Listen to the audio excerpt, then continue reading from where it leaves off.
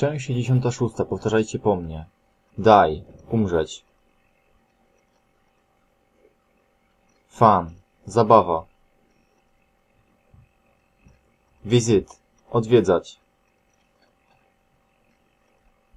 Trouble. Problem, kłopoty. Soft. Miękki, gładki. Past. Przeszłość, przeszły, miniony. Symbol. Symbol. Sign. Znak. Podpisać. Exact.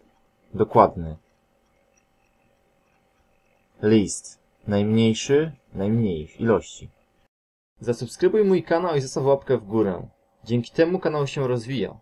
Dołącz do naszej grupy na Facebooku, gdzie uczymy się wspólnie języka angielskiego i pomagamy sobie. Jest nas coraz więcej. Oraz zachęcam do polubienia mojej strony angielskie zwroty. Wszystkie linki znajdziecie w opisie. Dzięki za obejrzenie, cześć.